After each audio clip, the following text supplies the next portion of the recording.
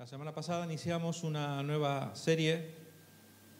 Sabéis que la forma que nosotros tenemos de trabajar es insistir sobre un mismo tema durante varias semanas para que podamos eh, darle tiempo a nuestra alma, a nuestra mente, a nuestro espíritu, de poder aprender aquello que el Señor quiere traer a nuestras vidas como enseñanza y como formación, ¿vale? Y esta serie que, vamos, que hemos iniciado la semana pasada se llama algo así como Discípulos de Jesús. Y es un tema que yo creo que es de vital importancia estos días, porque a veces cuando nosotros escuchamos la palabra discípulo, estamos pensando, bueno, eso que dan en la iglesia, de la escuela de discipulado y todas esas cosas, ¿no? Pero, y pensamos que siempre es para los otros, para los demás. Pero discípulo de Cristo, eh, yo creo que discípulos de Cristo somos todos. Tú y yo, esta mañana, delante del Señor, somos discípulos de Cristo. Así que vamos a hacer lectura del pasaje que se encuentra en Mateo capítulo 28, 18 al 20. Si te es más cómodo, me puedes acompañar en la pantalla. Normalmente todo lo que utilizamos es la versión 60, pero si hay una versión distinta yo lo suelo avisar, ¿vale? Y está además indicado, ¿vale? Entonces, este pasaje es el que nosotros estamos meditando, el que estamos estudiando eh, y el que estamos intentando recibir que el Señor, lo que el Señor dijo o que, que quiso transmitir cuando dijo estas palabras. Y Jesús se acercó y les habló diciendo, Toda potestad me es dada en el cielo y en la tierra, por tanto, id y haced discípulos a todas las naciones, bautizándolos en el nombre del Padre, del Hijo y del Espíritu Santo, enseñándoles que guarden todas las cosas que os he mandado He aquí yo estoy con vosotros todos los días hasta el fin del mundo. ¿Qué le pasa si oramos un momento y entregamos este tiempo al Señor? Sí, Padre, queremos darte muchas gracias porque podemos abrir tu palabra, Señor. Pero, Señor, también queremos abrir nuestro corazón, oh Dios. Pero, Señor, tal vez en alguno de nosotros esta mañana hay cargas, hay luchas, hay tantas eh, preocupaciones y distracciones que que quizás no permiten que nuestro corazón pueda recibir la semilla poderosa de tu palabra, Dios, para que pueda producir fruto a ciento por uno, Señor, y fruto que permanece para siempre, Dios.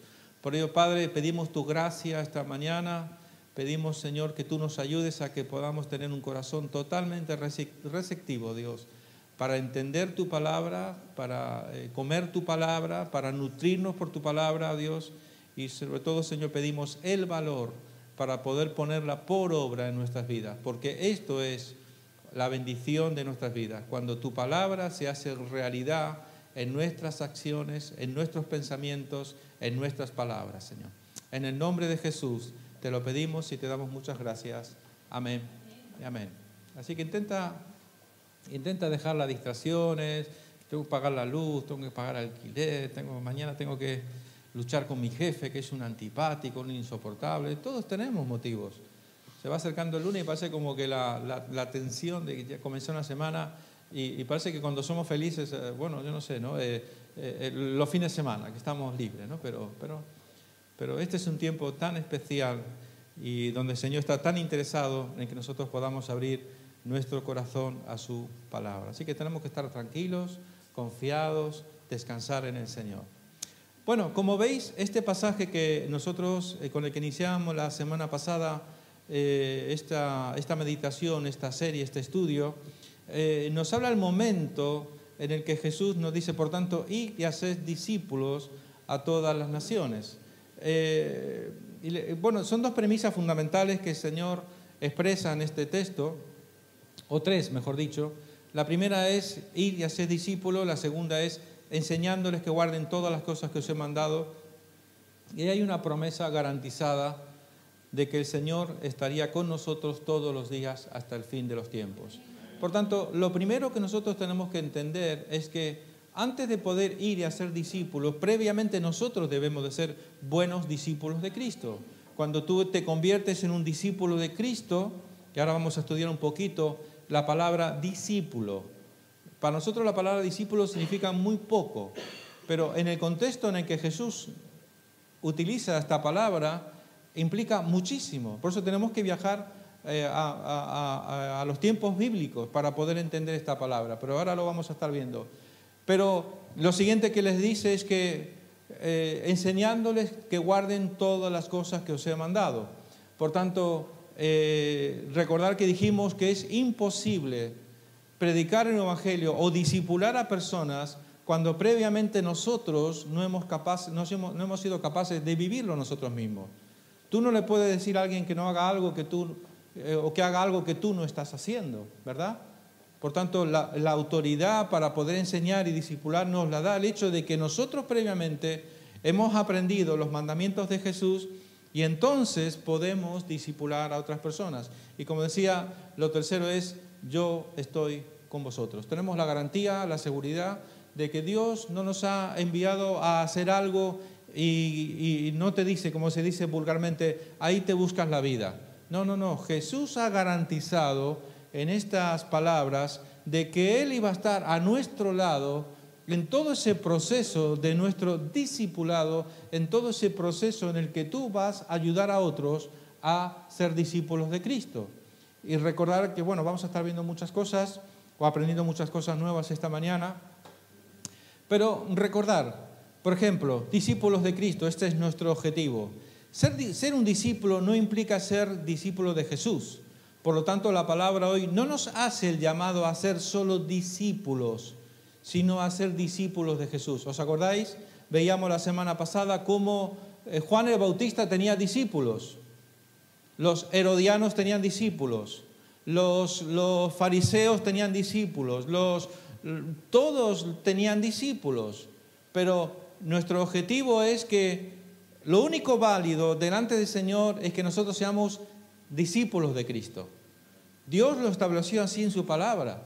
Por tanto, eh, pensar cuando la gente pone la mirada en las personas o sigue a las personas e intenta imitar al hombre, poniendo la mirada en el hombre únicamente, evidentemente no está cumpliendo el objetivo. Puede ser que sea tal vez un, cierto referente eh, importante, pero nuestro modelo nuestro ejemplo a seguir únicamente tiene que ser el Señor Jesucristo. Por tanto, siempre tenemos que mirar a Cristo, únicamente mirar a Cristo.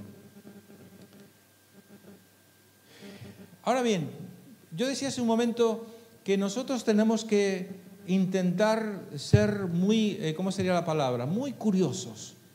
¿Qué es lo que decía Jesús cuando cuando él utilizaba esta palabra, es una palabra muy, muy al día en el lenguaje de Jesús, cuando él utilizaba la palabra discípulo.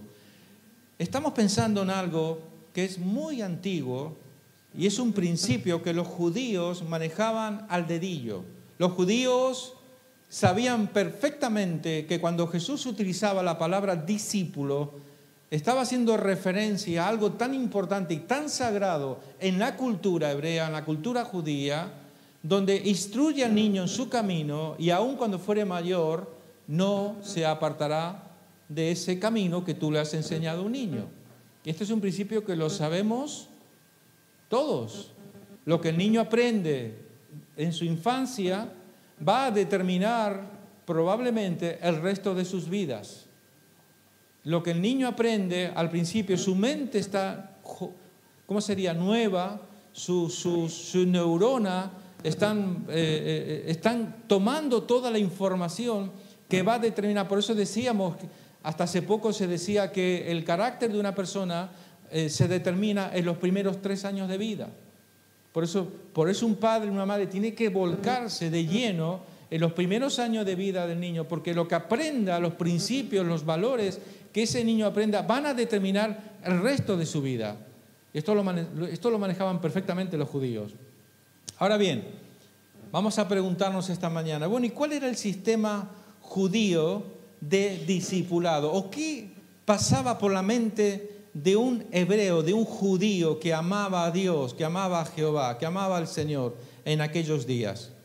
Mirar, vamos a, vamos a intentar desglosarlo, voy a intentar explicar lo mejor posible eh, eh, a veces soy un poco torpe, torpe, con estas cosas y me puedo liar un poquito, pero voy a intentar ser lo más claro posible para que vosotros entendáis, para que todos podamos aprender en todo caso. Cuando los hebreos escuchaban la palabra discípulo, ¿Qué estaban pensando? Y os aseguro que no tiene nada que ver con lo que tú ahora mismo estás pensando cuando escuchas la palabra discípulo. ¿Vale? En el mundo hebreo habían tres niveles para poder llegar a ser un discípulo. Yo no diría tres niveles, diría tres filtros que necesariamente cualquiera que quería ser un discípulo de Cristo tenía que pasar. Y vamos a ver cómo ellos tenían organizado este tema. Ellos tenían tres escuelas o tres niveles de formación donde instruían al niño para finalmente, en el tercer nivel, tú te podías convertir en un discípulo, pero ni muchísimo menos en un discípulo de Cristo. Vamos a ver, vamos a ver un poquito, ¿vale? El primer nivel. El primer nivel es, se llama algo así como Bet Sefer, que significa casa del libro, donde el niño aproximadamente con sus cinco años de edad, eh, sus padres lo llevaban a esta escuela que se llamaba Bet Sefer, que significa casa del libro. Y el libro, ¿a qué libro están haciendo referencia? Habla de un libro. El libro al que están haciendo referencia se llama el Pentateuco, Penta 5, significa, los cinco primeros libros de la Biblia que tú tienes en tu Biblia, los primeros cinco libros escritos por Moisés. Ellos se dedicaban durante aproximadamente otros cuatro o cinco años, se dedicaban a estudiar el Pentateuco, esos cinco primeros libros, los aprendían de memoria, de memoria. Y no solamente de memoria, sino que los tenían que aprender de adelante para atrás, de atrás para adelante y a veces tenemos problemas para aprender un versículo de la Biblia. Pues ellos aprendían cinco libros a los cuatro o cinco años de, estar en esa escuela que se llamaba la Casa del Libro, ellos aprendían el Pentateuco, de adelante para atrás, de atrás para adelante. Desde que se levantaban por la mañana hasta la noche, estaban aprendiendo los cinco primeros libros de Moisés. Ahora, por ejemplo, imagínate que yo te digo ahora, dime Juan 3.16. Ya te costó trabajo ¿eh? aprender Juan 3.16, ¿no? Porque de tal manera amó Dios al mundo que ha dado su Hijo unigénito para que todo aquel que en él crea no se pierda, mas tenga vida eterna. Ahora te digo, dímelo al revés. ¿Cómo lo dirías? Piensa, ponte a pensar, a ver, ¿cómo me lo dirías?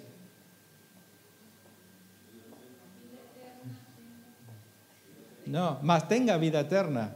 Eterna vida tenga más. Por ejemplo, sería una estrofita. Pero tienes que pensar, tienes que razonar. Imagínate el versículo entero, hasta que te lo aprendes de memoria. Pues ellos aprendían ese libro que tú tienes en tu mano, esos primeros cinco libros se lo aprendían al dedillo, de adelante para atrás, de atrás para adelante. Vamos, e, era, era un tiempo muy, muy especial. Y no podían salir de ahí, de dejar ese colegio, de esa, esa, esa educación, hasta que no se aprendían los cinco primeros libros.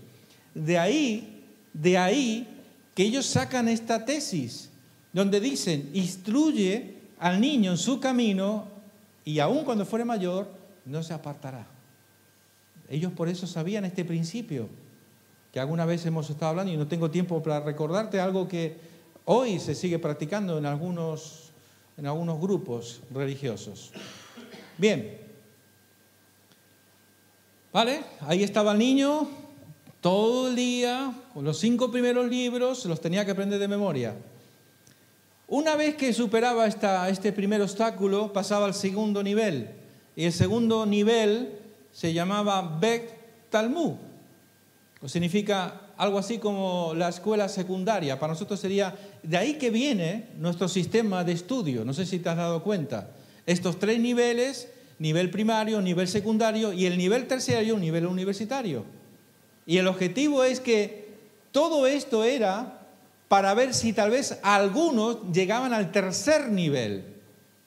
Y el tercer nivel significaba convertirse en un rabí, en un maestro de la palabra de Dios.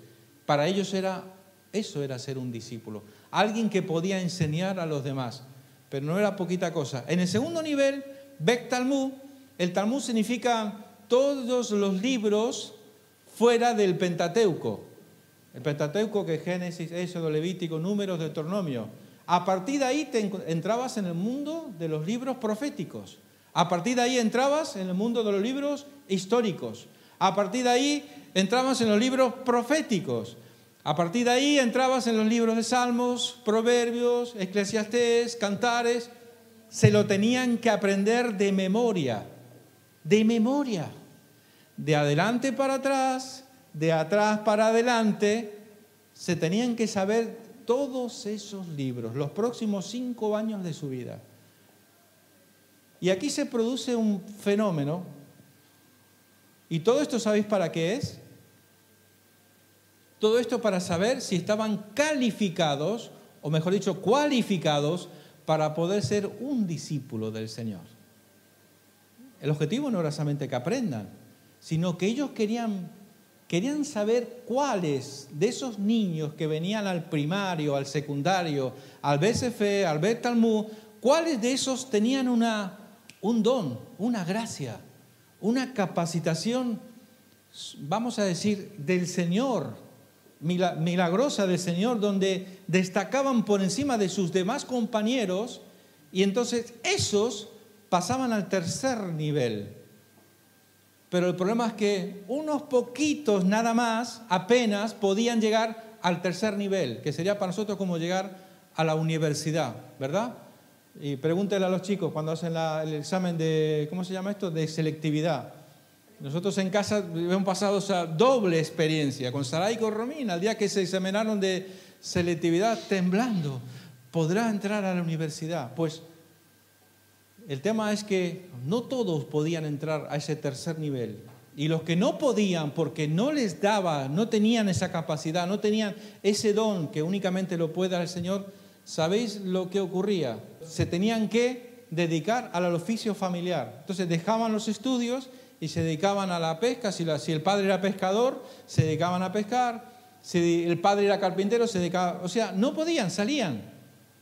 O sea, eh, aquellos que habéis ido alguna vez a Israel eh, eh, y sabéis lo que estoy hablando, cuando tú vas por Israel, tú te encuentras gente normal, que parecen occidentales, normalita como nosotros, visten como nosotros.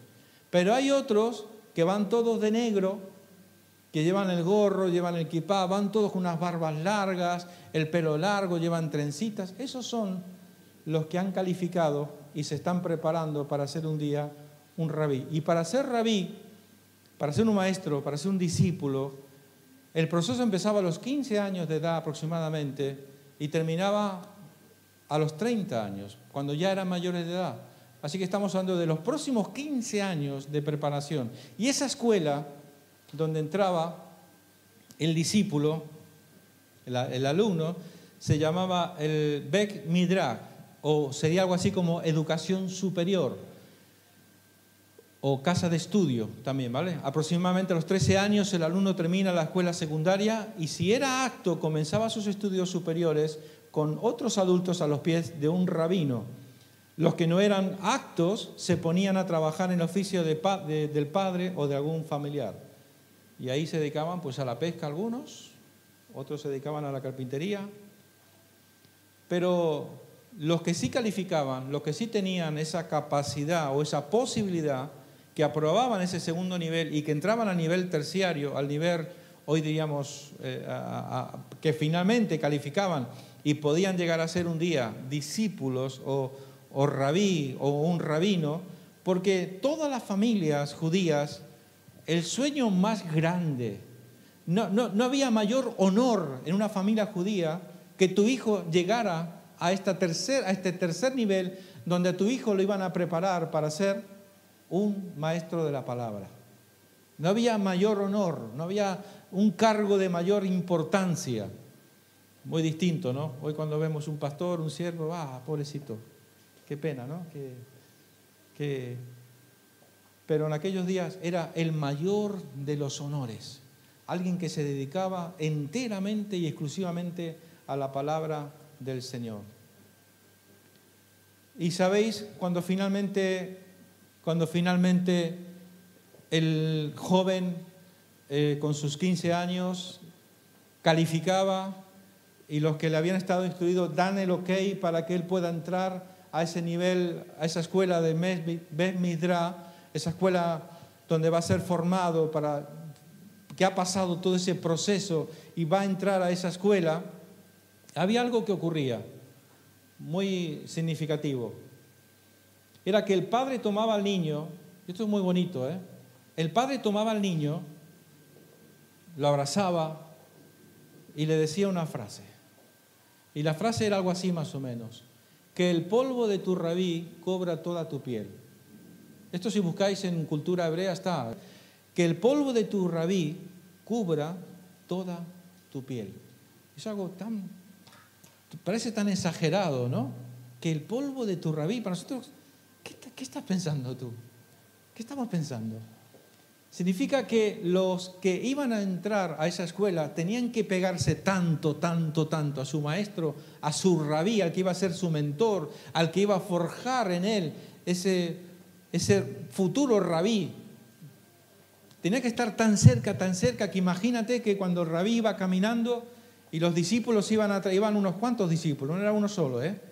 Iban tan pegados, tan pegados, imagínate Israel, 40 grados de calor, y, el, cuando va caminando en esos caminos polvorientos, el polvo que se levanta. El padre le dice que el polvo de tu rabí se pegue. Imagínate todo transpirado, con la calor, y todo el polvo se le pegaba, porque iba tan pegado, porque tenía que observar al milímetro, al milímetro, la vida de su rabí, de su maestro, para aprender.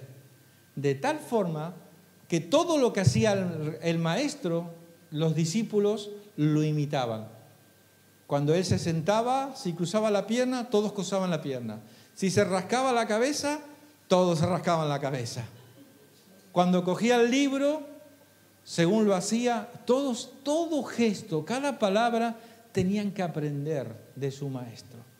Pero recuerda, hemos dicho, unos no calificaban y no podían, no les daba para poder llegar a ser eh, estudiantes de la palabra del Señor. Y los próximos 15, próximos 15 años de ese niño, de ese joven, los iba a dedicar a estudiar la palabra de Dios. Todo su mundo iba a ser la palabra del Señor. Y sabéis, hay una parte muy interesante, una anécdota muy bonita que ocurre en el momento que ellos empiezan a tomar clases con su rabino, con su maestro, con su mentor hay algo que ocurre muy, muy bonito. Y es que el maestro va cogiendo a todos los alumnos uno por uno y coge un bote con miel y, les hace abrir el libro, la Torah. Abren la palabra. Y cuando empiezan a leer, ahora unta tu dedo con un poco de miel y pásalo por tus labios. Y le dice que la Torah sea tan dulce a tu paladar como esta miel en tus labios. Y entonces ellos empezaban de muy jovencitos una pasión y un amor por la palabra del Señor. Como miel fue a mi paladar tu palabra. ¿Os acordáis quién dijo esto? Vale, pregunta del millón. ¿Qué significa ser un discípulo? La palabra matetes se refiere generalmente a cualquier estudiante, alumno, aprendiz o partidario, lo opuesto de un maestro. En el mundo antiguo, sin embargo, era comúnmente asociado con personas que eran seguidores devotos de un gran líder, religioso o maestro de filosofía. Ahora hay una parte muy importante. Estamos dando por sentado que todos, cuando calificaban, podían ser discípulos de un rabí. Pero no era así. Según nos dice la cultura hebrea, no era así. Cuando tú finalmente pasabas el nivel, el nivel medio, el, la, el Sefer, luego el Bek Talmud. Cuando pasabas el Bek Talmud, ibas a entrar a Bek Midra. Claro, significa que tenías que buscarte a un rabí que aceptara que tú fueras su discípulo. Oh, y eso sí que era una, una tarea encomiable, una tarea muy difícil, porque tenías que estudiar, bueno, ¿y a qué maestro voy a escoger yo como mi mentor? ¿A quién, quién va a ser mi maestro? Entonces toda la familia colaboraba. Bueno, aquel rabí creemos que sería lo mejor para ti. Bueno, aquellos días los, en el mundo hebreo todos los niños querían ser un día un rabí, un maestro. Pero en el mundo occidental todos un día los que podían, los que podían, escogían un filósofo al que entregaban a sus hijos para que aprendiera toda la sabiduría de ese filósofo ese filósofo que amaba la sabiduría. Pero en este caso, el niño, el joven, tenía que buscarse un rabí. Y tenía que ir a ese rabí y decirle, ¿usted me podría aceptar a mí como su discípulo? Y el rabí no le decía, sí, sí, claro. No, no, no tiene nada que ver con lo que nosotros estamos pensando. El rabí lo primero que hacía era hacerle un examen y le empezaba a hacer preguntas de toda la Biblia. Bueno, Biblia para nosotros, para ellos era la Torá. ¿Y cuántas veces aparece esta palabra en este libro? En este capítulo. Bueno, tampoco había capítulo. Bueno, en este libro, ¿cuántas veces? Y le hacía preguntas bien difíciles. Y si finalmente el joven tenía la capacidad de poder responder todas, todas esas preguntas, entonces es cuando se decidía, él decidía, vale, te acepto como mi discípulo, has calificado, estás aprobado. Ahora, fijaros qué distinto. Quiero terminar con esta idea al final, cuando termine el mensaje. Todavía me queda mucho material. Pero qué distinto que es cuando el Señor a nosotros nos llama con sus discípulos. ¿Qué pensáis cuando Jesús se fue al mar de Galilea y llamó a unos pescadores? ¿Por qué estaban pescando Pedro, su hermano, Andrés y otros tantos? ¿Por qué estaban pescando? ¿Por qué? Porque no habían calificado, no daban la talla para poder ser un discípulo, para poder ser un estudiante de la palabra, de la Torá. Habían descalificado, por eso se dedicaban a esas cosas. Porque en el mundo, en la cultura hebrea, era o eras o no eras. Y los que no eran se dedicaban a esos oficios, carpintero, eh, a pescar, al mundo del negocio, todas esas cosas. Bueno, yo quiero hacer la pregunta, quiero hacer la pregunta, ¿qué debe de imitar un discípulo de Jesús? Si yo hago esta pregunta esta mañana, quiero que, comiences a pensar, ¿qué debemos de imitar nosotros de nuestro Maestro de Jesús? Tenemos que imitar los valores de nuestro Maestro. Aprended de mí que soy manso y humilde. Debemos aprender las enseñanzas de Jesús. Si permanecéis en mi palabra, seréis verdaderamente mis discípulos. La conducta de nuestro Maestro. Si yo, el Señor y el Maestro, he lavado vuestros pies, vosotros también debéis lavar los pies los unos a los otros, porque ejemplo os he dado. Es un ejemplo extraordinario. Él no pidió algo que previamente no lo ha hecho. El Rey del universo se inclinó y lavó los pies de sus discípulos. Y le dije, vosotros tenéis que hacer, y habla acerca de este carácter de humildad y de sencillez. ¿Y cuáles eran las responsabilidades de un discípulo de Cristo? Pasar tiempo. Una de las responsabilidades es pasar tiempo con su maestro. Predicar el Evangelio del Reino. Todo esto es repaso. Todo esto es repaso. El tema todavía no he empezado a predicar. Predicar el Evangelio del Reino. Y algo muy importante, hacer más discípulos. Aprender a orar conforme aprendió. ¿Cómo vamos a aprender a orar nosotros? ¿Cómo son nuestras oraciones? ¿Cómo oraba Jesús? Jesús no hacía nada si no era algo que previamente el Señor ya le había mostrado, que el Padre, yo no hago nada que no haya visto hacer al Padre. Y él siempre tenía esa permanente comunión con el Padre. Él dependía del Padre y no hacía nada que el Padre no se lo dijera, porque Jesús era perfecto hombre y perfecto Dios, pero en su parte humana era la que normalmente nosotros conocíamos, ¿verdad? Hay momentos que él actuaba como Dios, había momentos que actuaba como hombre. Pero examinar honestamente y sinceramente muchas veces nuestras oraciones delante del Señor, ¿cómo son? A mí me pone los pelos de punta cuando nosotros oramos dándole órdenes a Dios. Es que no sabemos dónde estamos ni quiénes somos cuando tú empiezas a darles órdenes al Señor y ahora y no sé qué y no sé cuánto. A mí me da, me preocupa esto, porque yo creo que hemos dejado de seguir al Maestro, el ejemplo de Jesús. Cuando nos acercamos al Padre, lo tenemos que hacer en total, absoluta humildad y sencillez de corazón, total dependencia del Señor, entendiendo que Dios es soberano y que Él hará como Él quiera hacer y solo será lo, aquello que es su voluntad, no lo que a ti te da la gana, lo que a ti te parece. ni siquiera lo que tú necesitas, porque Dios sabe lo mejor para sus hijos, ¿verdad?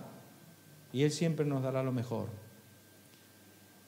Y muy importante, también dijimos que era, eh, tenemos que estar dispuestos a renunciar a todo para seguir a Cristo. Fue el pasaje con el que la pastora iniciaba esta, esta mañana la reunión. Y habla acerca de, de, aborrecer a nuestro padre, nuestra madre, nuestra familia.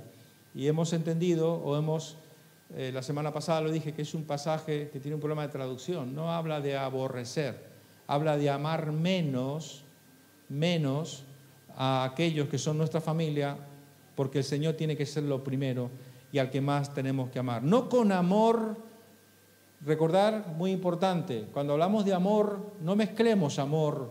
La palabra amor tiene tres formas de expresión. Está el amor eros, que viene de la palabra, bueno, la palabra es en realidad erótica, que es el amor que tiene un hombre, una atracción que tiene el hombre con la mujer, donde hay un, amor, una, una atracción donde yo me puedo enamorar. Yo me he enamorado de mi esposa hace más de 30 años. Ese es el amor eros. Está el amor filio, filio que significa, que significa filial, que significa el amor que tenemos para nuestros hijos. Yo me puedo, yo puedo estar en, amar a mis hijas, pero nunca estar enamorado de ellas. Enamorado estoy de mi esposa, pero amo a mis hijas como si fuera mi propia vida. ¿Verdad? Pero después está el amor que es el que Dios espera de nosotros, que es el amor ágape, el amor que lo da todo sin esperar absolutamente nada a cambio. Y ese es el amor con el que Dios nos ha amado y nos ama y nos amará por toda la eternidad. El amor de Dios es eterno, es inmutable. La dimensión del amor de Dios no cambia. Dios no te ama hoy mucho, mañana te, ama menos, te ama, te ama poco.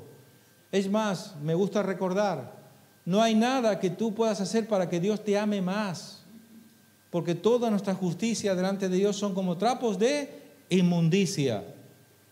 A Él no le vale. Es bueno para nosotros en todo caso, ¿verdad?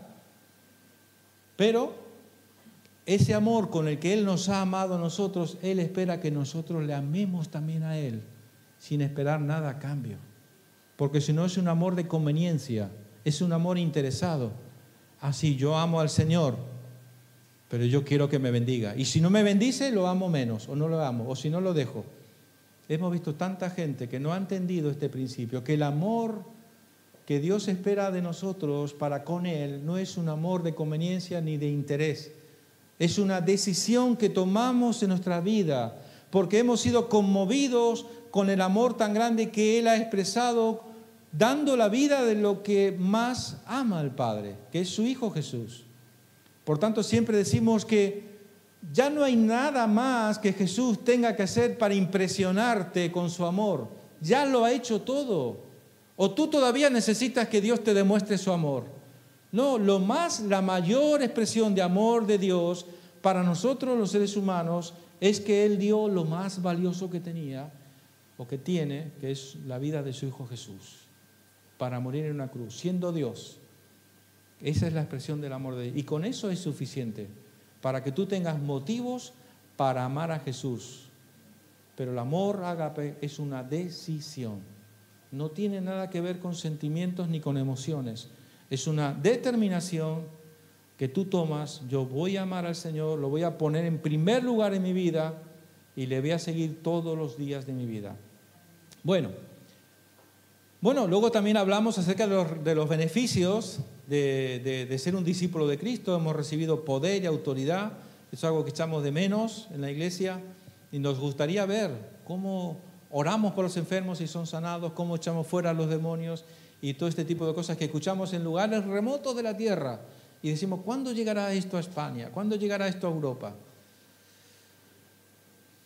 Pero terminábamos la semana pasada con una reflexión un poco interesante, un tanto interesante, que era que muchos de sus discípulos hubo un momento que ya no le querían seguir y empezaron a volverse atrás. Jesús tuvo muchos, muchos con el entusiasmo de seguir a Jesús, aquel que multiplica los panes y los, peces, aquel que, que, levanta a los paralíticos, aquel que da vista a los ciegos, aquel que, que resucita a los muertos. Claro, había muchos que seguían a Jesús. Pero cuando vieron que eso no era algo temporal, que la decisión de ser de un discípulo es para toda nuestra vida. Cuando nosotros iniciamos nuestra vida cristiana, se supone que tú entendiste, es parte del trato, que lo que tú estabas iniciando en tu vida no era mientras que a ti te parezca bien, no era mientras que las cosas vayan bien. Si me va mal, lo dejo.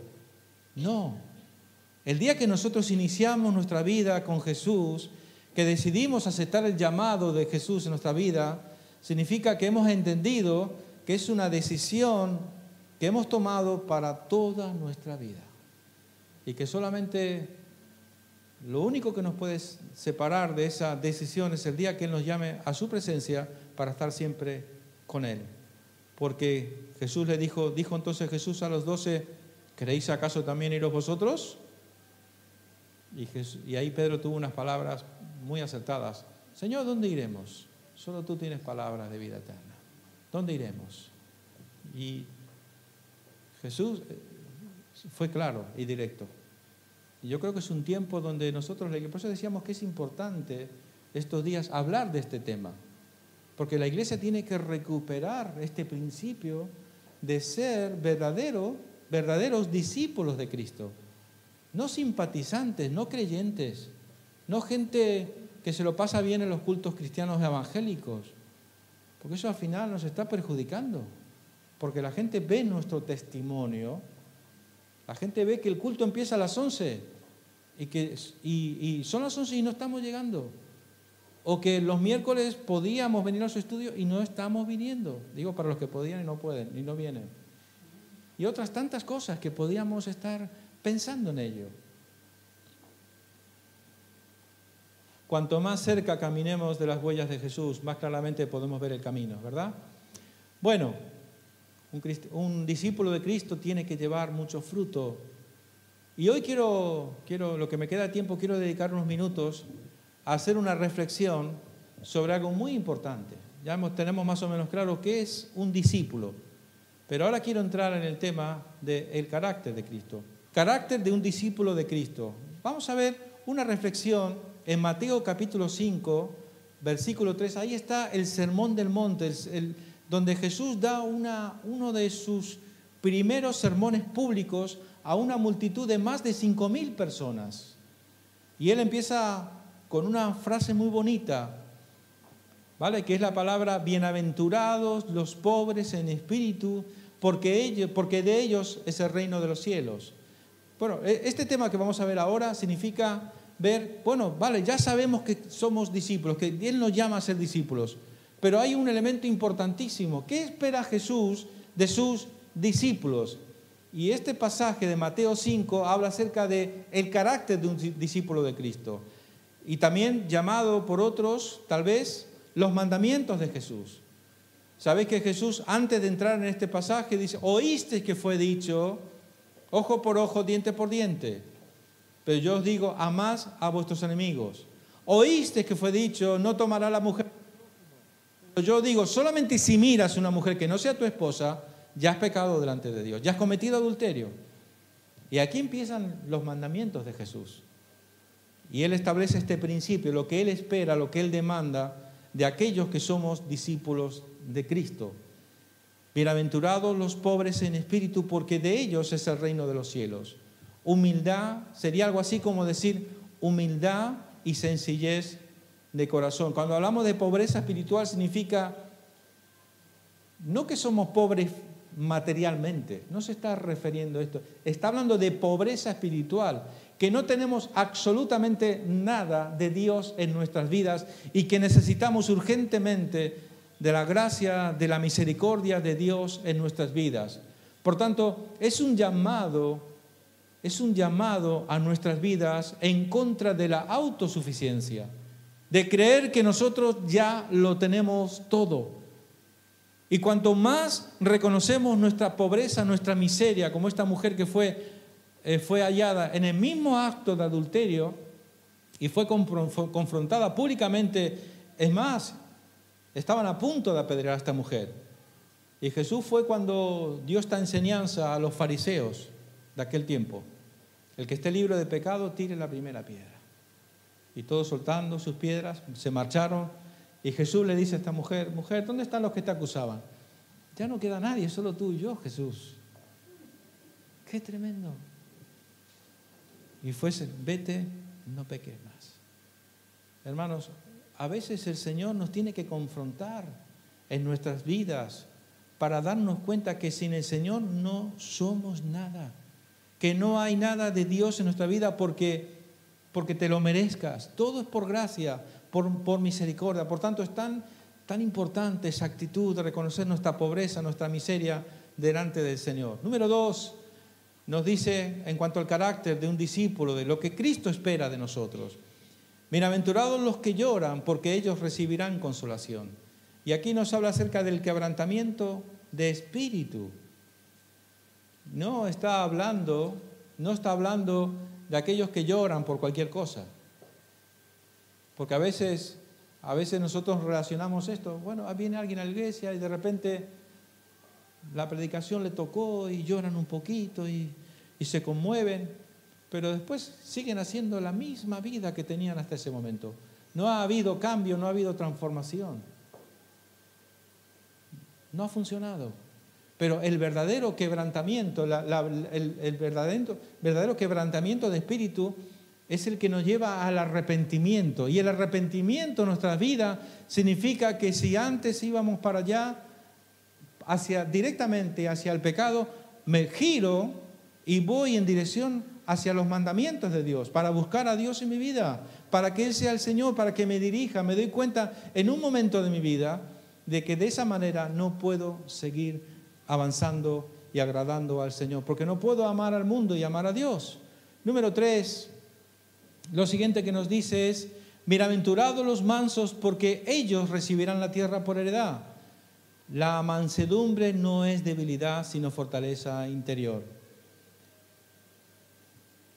La mansedumbre habla acerca de aquellas personas que son mansas, que por más que les pinches y les pinches y los provoques, no reaccionan, no dicen ni mu.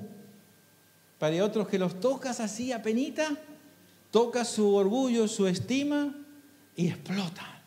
Y si pueden, te comen. ¿Verdad? Y todos tenemos un poco de, de mal genio, de mal carácter, todos. Y, a veces solemos, no, no, me, no, te no me toques por ahí porque mira que, mira que yo me conozco, ¿eh? Mira que me conozco. Pero eso no es fuerza. En realidad eso es debilidad. Eso es debilidad. Es un, es un carácter fuera de control. Y no hablamos de que tú te puedas por dentro explotar. Aquí lo que hablamos es de que tú te puedas sujetar, que tú puedas sujetar ese león que llevas dentro, que, cuando se enfada se come a medio mundo, se lleva todo por delante, que es imparable. Y eso es una señal de debilidad. Pero lo que estamos intentando decir en, esta, en, esta, en este sentido de reflexión, la mansedumbre no es debilidad, sino fortaleza interior. Aquel que es, por eso decimos que eh, aquel que es fuerte interiormente, ese va a llegar muy lejos. Ese va a saber, porque dice, hay un principio que dice que eh, Dios da gracia a los humildes y que resiste a los soberbios. Un pasaje tan sabido por nosotros, tan conocido, ¿verdad? Dios da gracia a los humildes. Hay un favor especial, hay una gracia, un poder de Dios sobre aquellos que son humildes, aquellos que deciden morir a su yo antes que, antes que salga ese león que, que se devora a cualquiera. Bueno, voy a seguir avanzando otro poquito. Dice también Mateo 5:6, bienaventurados los que tienen hambre y sed de justicia, porque a ellos ellos serán saciados. Jesús es el pan de vida que nos envió el Padre. O sea, aquí está hablando acerca de aquellos que tienen hambre, hambre de justicia. Bienaventurados los misericordiosos, porque ellos alcanzarán misericordia. El que da misericordia recibirá misericordia. Hermanos, creo que es algo que al Señor le, agrada tanto cuando nosotros descentralizamos nuestra vida para con nosotros mismos, cuando empezamos a mirar la necesidad que hay a mi alrededor y dejamos de vivir una vida centrada o pretender de que todo el mundo viva centrado en tus necesidades, en lo que tú necesitas, y empiezas a mirar que hay otras necesidades que, también están a la orden del día y que van más allá de tus propias necesidades. Y no quiero utilizar la palabra ni narcisismo, ni egoísmo, ni, eh, ni, ni nada de estas cosas, pero lo cierto es que muchas veces este sistema social en el que vivimos vive, vivimos centrado en nosotros mismos porque el sistema nos educa de esa manera, para que tú vivas centrado en ti mismo y solamente tengas como prioridad tus necesidades. Pero hermano, levantemos un poco la mirada y miremos cuánta necesidad. Por eso, misericordioso, que viene la palabra misericordia, significa corazón que duele, que se duele por el dolor de los demás. Es algo que la iglesia necesita recuperar urgentemente. Y para calificar, para poder ser un discípulo de Cristo, necesitamos tener misericordia en nuestras vidas. Dolernos con el que se duele, llorar con el que llora y también reírnos con el que se ríe. Pero si vivimos una vida centrada en nosotros mismos, donde no tenemos tiempo para, no tengo tiempo más que para mí nada más, evidentemente no estoy cumpliendo propósito, no estoy calificando, no estoy siendo un buen discípulo de Cristo.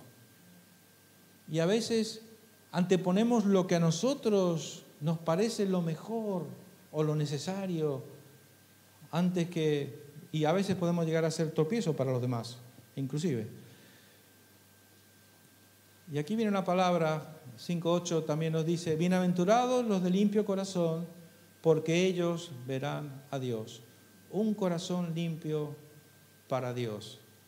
Hermanos, un corazón limpio para Dios, yo creo que ninguno lo va, no, no está hablando de que tu corazón sea limpio y que no se manche nunca. No. Lo que está intentando Jesús enseñar a sus discípulos, a ese pueblo, a esa gente que le está, a estas personas que le están siguiendo, es que debemos de procurar mantener nuestro corazón limpio. Por eso dice la Biblia, Pablo nos dice, airaos por no pequéis no se ponga el sol sobre vuestro enojo. ¿Es que acaso no vamos a tener malos pensamientos? Es que a veces no, tendremos a veces una palabra fuera de lugar con una mala actitud. Las vamos a tener y vamos a tener todo ese tipo de luchas y situaciones que se producen en nuestra vida. Pero el problema está cuando tú no haces nada para remediarlo en tu vida. Por eso hemos dicho, los que estáis estudiando a veces con nosotros los miércoles, sabéis que la tentación, cuando viene un pensamiento, la tentación no es pecado delante de Dios, en un sentido. Pues tú no puedes controlar a veces, es verdad, debes de tener la, mente de Cristo, pero cuando pasa un pensamiento, que pase de largo. Pero si tú lo dejas que se quede, entonces empieza a echar raíces, entonces empieza a tomar control de tu mente, entonces quiere pasar a la acción y por ende el pecado, una vez que ha sido consumado, da a luz la muerte y se produce la muerte. La muerte significa separación espiritual. Ahora bien, bienaventurado lo de limpio corazón significa aquellos que procuran tener un corazón limpio para Dios. ¿Qué significa esto? Que cuando se da cuenta que hay algo que no tiene que estar allí, inmediatamente va a la presencia del Señor y confiesa su pecado, pide perdón y Dios, que es fiel y justo para perdonarnos y limpiarnos de toda maldad. Por eso la clave está en confesar. Ahora, hay distintos tipos de pecados en ese sentido. Uno es el que es privado, personal, donde solo Dios sabe lo que está pasando en tu vida. Y eso es algo que solo Dios lo puede saber. Ahora hay situaciones a veces en las que quizás puedo involucrar a otras personas. Entonces yo tengo que ir rápidamente, no solamente a Dios, sino que tengo que ir a esa persona con la que he tenido el problema, se ha una determinada circunstancia y solucionarlo con esa persona. Por eso Jesús decía, cuando vayas con tu ofrenda al Señor eh, y, y tienes algo con tu hermano, ¿qué dijo? Deja tu ofrenda en el altar, ve con tu hermano, reconcíliate con tu hermano, entonces vuelve a la casa del Señor y presenta tu ofrenda. Al Señor le interesa mucho que tengamos un corazón limpio que no significa que se pueda manchar, se mancha. Pero procuro inmediatamente ir deprisa a la presencia del Señor para que el Señor, por su sangre preciosa, me lo limpie. y me sane y me restaure. Si confesamos nuestros pecados, Dios es fiel y justo en perdonarnos y limpiarnos de toda maldad. No hay pecado que el Señor no pueda perdonar, pero necesitamos confesarlo al Señor. Bienaventurados los pacificadores, porque ellos serán llamados hijos de Dios, hombres y mujeres de paz. Hermanos, qué maravilloso es cuando hay personas que son pacificadoras. Porque a veces nuestra tendencia humana caída, en vez de ser pacificadores, somos, eh, eh, eh, provocamos pleitos. Y viene alguien y me cuenta algo y voy y se lo suelto y además que encima le agrego más todavía. Y pongo en, pongo en discusión al otro, con aquel. Y, donde y voy buscando y parece como que es un alimento parece dulce, pero es, viene del mismísimo infierno. Por eso, fijaros, yo siempre digo que yo, lo poco que sé de la Biblia, cuando veo que la tierra se abre y se traga todo un pueblo en el libro de Moisés, en el, en el Éxodo, ¿sabéis por qué era? Por la queja, por la crítica, por el chisme. No hay nada más que desagrade al Señor cuando cuando en nosotros no está el buscar el, la reconciliación. Estar en paz con todos, muy importante, pero al mismo tiempo también buscar la paz de los demás. Soy un embajador de la paz, de la paz de Cristo.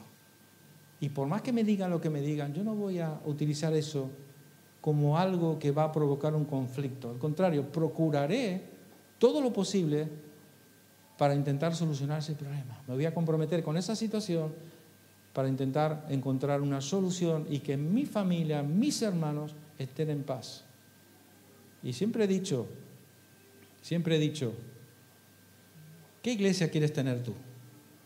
Una iglesia llena de chisme, de crítica, una iglesia donde, donde todo el mundo critica a todo el mundo.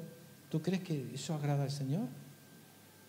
Cuando tú detectas esto en una iglesia, tienes que tener muchísimo cuidado y tienes que bueno, en todo caso se supone que, sobre todo el pastor, se supone, ¿no? Pero qué triste cuando el pastor es el último que se entera de las cosas que pasan, de lo que se están diciendo unos de otros y pitos y flautas. No. Y nadie hace nada. Y tu iglesia, mientras tanto, enemigo está utilizando eso como caldo de cultivo para traer destrucción. Hermano, yo lo he visto. Iglesias que fueron destruidas porque, porque no se hizo nada cuando esto se metió a la iglesia. Si tú quieres tener una iglesia, una iglesia que agrada al Señor, tú tienes que velar. Tenemos que tener los muros bien levantados. Y bueno, quiero terminar, quiero terminar diciendo que en Marcos 3, 13, 15 nos dice, después subió al monte y llamó así a sus discípulos y vinieron a él.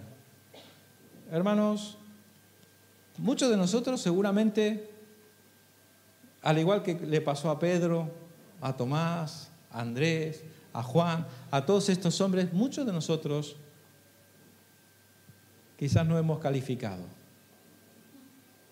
Pero lo cierto es que la diferencia está en que aquellos que habían ido al BES, a las dos escuelas eh, primeras, eh, y cuando iban a llegar al BES Midra, a la última escuela, tenían que ir a su a su rabí y pedirles por favor si le aceptaba para ser un alumno suyo.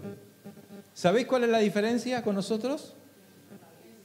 Que Jesús nos llama a nosotros a ser sus discípulos.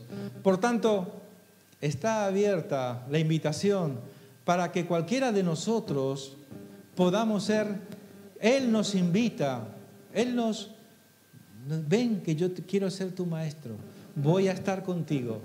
Yo te voy a enseñar y yo te voy a ayudar. Y está en nosotros ser esos discípulos con el carácter de Cristo, que hemos aprendido de nuestro Maestro y queremos servirle a través de nuestra vida. Por favor, vamos a ponernos de pie para orar, despedir este tiempo. Aleluya. La pastora preguntaba esta mañana y decía, mi esposa Carmen decía, después de dos mil años, Jesús todavía sigue buscando discípulos. Dios sigue buscando discípulos. Y la pregunta es, ¿encontrará el Señor esta mañana entre nosotros alguno que le diga, Señor, heme aquí, yo quiero ser tu discípulo? Quiero que tú seas mi maestro, quiero aprender de ti, quiero comerme la Biblia, quiero que tu palabra sea como la miel a mis labios. Yo quiero servirte a ti, mirarte a ti, honrarte a ti, agradarte a ti, Señor. Sí, Padre, gracias esta mañana. Gracias por, por tu palabra, Señor. Tú nos desafías, tú nos retas y presentas delante de nosotros, Señor, esta invitación tan hermosa a la cual nosotros aceptamos de todo corazón, oh Dios. Queremos ser tus discípulos y queremos, Señor, tener el carácter, Señor, aleluya, de Cristo en nosotros, Padre. Gracias. Gracias, Señor, por todo lo que hemos podido meditar esta mañana, oh Dios. Ayúdanos a que cada día podamos crecer, podamos avanzar y podamos ser esos discípulos de Cristo que tú todavía, dos mil años después, sigues buscando. Y esta mañana tú estás en este lugar, oh Dios, haciéndonos esta invitación. Tú quieres ser mi discípulo, tú quieres aprender de mí, tú quieres seguirme todos los días de tu vida. Aleluya. Enos aquí esta mañana, oh Dios. Como iglesia, Señor, ayúdanos a vivir este principio, Padre, de ser discípulos de Cristo. Aleluya, Jesús. Amén y amén.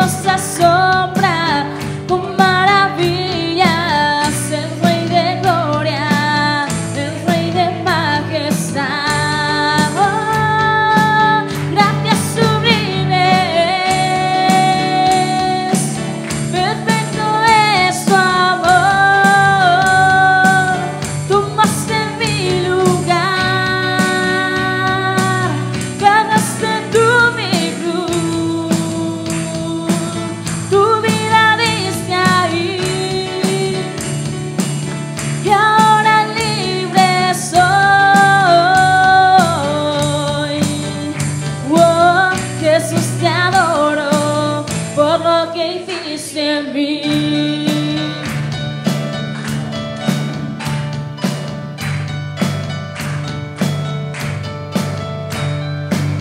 Pusiste